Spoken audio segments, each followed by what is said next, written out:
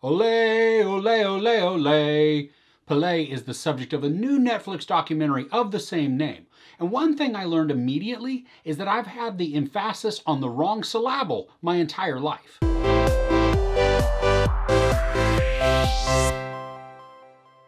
This documentary tells the story of iconic footballer Pelé, his quest for perfection, and the mythical status he attained. Did you know he was only 17 when he was called up to play on the World Cup team for the 1958 World Cup?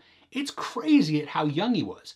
And then what he did from there. This documentary gives us a good picture of Pelé as he played for Brazil, and we have interviews with the legend himself, along with discussions with his sister, former teammates and coaches, as well as even journalists and political figures. These interviews are then supported by the massive amount of news footage that spans a little bit more than a decade's worth of time. Now, if you're looking for a gotcha type documentary, or even one that goes into all the nooks and crannies of Pelé's personal life, you're going to be disappointed. This isn't a deep dive into his life off the pitch. We do get a little bit of his family background from when he's a young boy, though, but not a ton.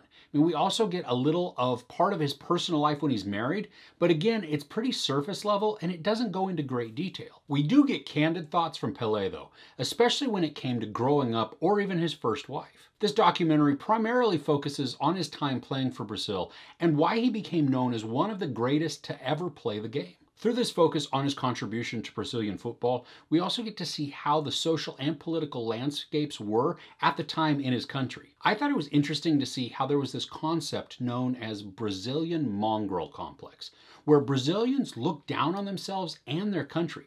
But when the football team started winning, it gave the citizens a new perspective on themselves and a reason to be proud of their nation. I thought that transformation was really cool to watch. This also dives into some of the politics going on in Brazil at the time and really builds a good picture of how the political landscape shaped the country's outlook and morale and why the 1970 World Cup became so important. I found it informative from a cultural perspective because I honestly didn't know a ton about Brazil. And I'm not saying I am now just an expert on the country by any means, but I do have more knowledge about what was going on during this time and how it affected the people because I got to experience this documentary. And for instance, I didn't know that it was under a dictatorship for a number of years. The show weaves this information in while discussing how apolitical Pelé was, and how that because he didn't voice a political opinion, it rubbed some people very wrong because he didn't use his influence to the advantage that they believed he should. I also like hearing directly from Pelé on some of his thoughts during that time. It removes a lot of the speculation and gives us firsthand knowledge of somebody's thoughts. And I got to say, this is a nice change of pace from some of the documentaries I typically watch. The majority of the ones are really deal with true crime. So to have one that is just a human interest story was really nice. And sure, this one is pretty much only focusing on the positives of Pelé and his contribution to the game. But I think that's fine. I mean, to focus on a positive story just didn't bother me. I think this is especially the case because it's just fun to watch all the great plays and the great game footage that this documentary contains. And I'm not a sports guy and I typically don't even follow football, but I do really enjoy watching the World Cup. And because I don't follow sports, I don't have a team to root for. So I end up typically rooting for the underdog. And it was this last World Cup in 2018, I was rooting for Iceland. Eh, it didn't win though. I don't think you need to be a sports fan to enjoy this because it really is a focus on a human story.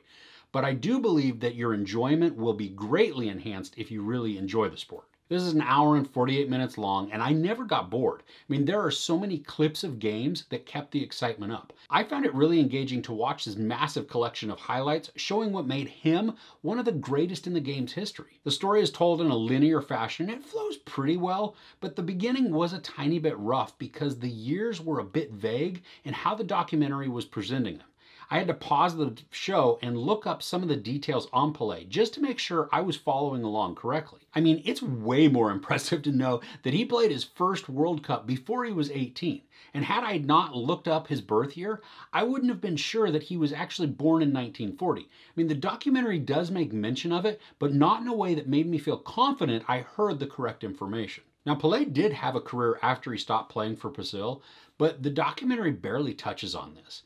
Only about the last two minutes show how he began playing for a New York team and how that then was a really large introduction of soccer to the US. Because this doesn't dive into all the negatives and the darker corners of his life, or really even much of his life off the field, I can understand how this may feel a little like a fluff documentary. And that's a pretty accurate impression, but I really did find the positive tone to be refreshing. So if you're into football or enjoy stories that highlight achievements, this is a good one to watch. There's no sex or nudity, some profanity, and some violence. I certainly recommend checking out the documentary Pelé. Do you follow football? Do you have a favorite team? Or are you really familiar with Pelé and his contribution to the popularity of the sport? Let me know in the comments below.